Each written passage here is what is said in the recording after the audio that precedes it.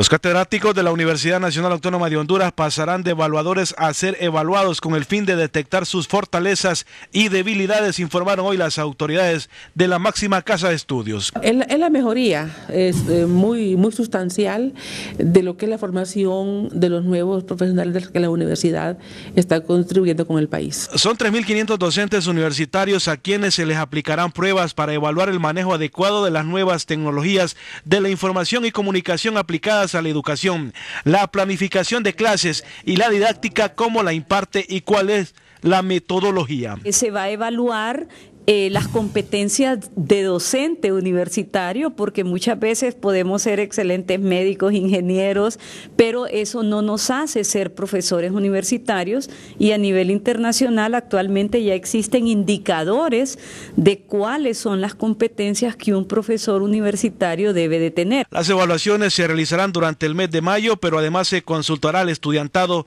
vía internet el desempeño de cada maestro, su puntualidad y asistencia a sus labores. Es eh, parte de un proceso educativo, ¿verdad? Y si usted no, eh, digamos que culmina con evaluación, y la evaluación le dicen que mejorar en el siguiente periodo.